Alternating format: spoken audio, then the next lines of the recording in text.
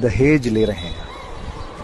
अब ये सुनते ही बड़ा अजीब लगता है लेकिन मैं जानना चाह रहा था कि स्ट्रीट पे आम आदमी की क्या राय है तो आपकी क्या राय है? नहीं देखिए फ्रैंकली स्पीकिंग मैं तो दहेज प्रथा के खिलाफ हूँ और दहेज नहीं लेना चाहिए। Very nice this what I expected from the youth दहेज मतलब आज की डेट में तो फुल्ली आउटडेटेड हो जाना चाहिए।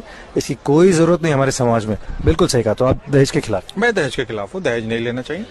लेकिन अगर कोई दहेज दे जैसे पिताजी अपने बेटी को एसी गिफ्ट कर देते हैं।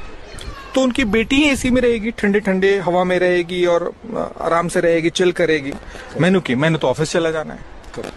वो अगर अपनी बेटी को फ्रिज देते हैं तो ठंडा पानी कौन पिएगा? उनकी बेटी ही पिएगी दिन भर घर में रहेगी। मुझे क्या मैंने तो ऑफ़िस चला जाना है।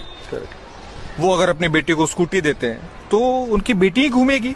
इधर उधर जाने में आने में कहीं कोई दिक्कत नहीं होगी ट्रबल नहीं होगी बेटी ऐश करेगी। मैंने क्या मैंने तो ऑफ़िस चले जाना है।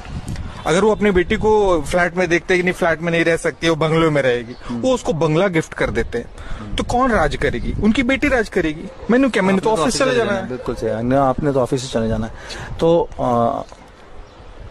तो आप दहेज के बिल्कुल खिलाफ तो अब मैं ऑफ़िस जाऊँ?